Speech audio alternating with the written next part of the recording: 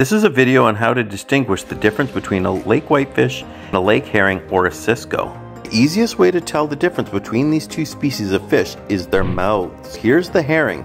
Look at its mouth. Its mouth opens directly in front of the fish's body. See it open there?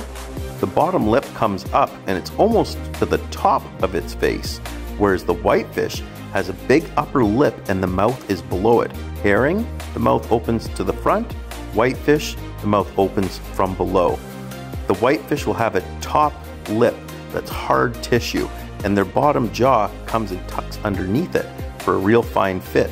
The herring, the mouth opens directly in front of the fish's face.